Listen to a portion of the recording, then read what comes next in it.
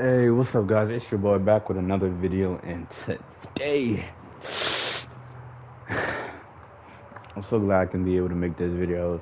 Uh, just about, what is it, the 29th? About eight days ago, roughly, I, I got my PlayStation 5. I've played for it about a week right now, so I've been liking it. I've have been enjoying it, and I think I'll be liking this for like the next decade. So everything looking good. I'm on Share Factory right now. Just an update video.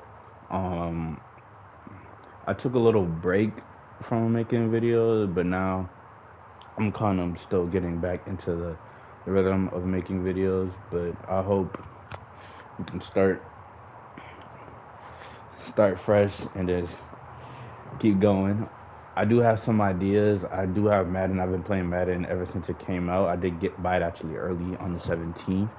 And I'm thinking of buying 2K, but when they release some news, they release a little bit, but in that I do have MLB 21. Maybe I release some content on that, but we'll see. But I'm not fully back yet. I've still got to get the notion of making videos, but once I am, hey man, there's gonna be more videos uh, like this, but this was just a checkup um, saying I'm back finally.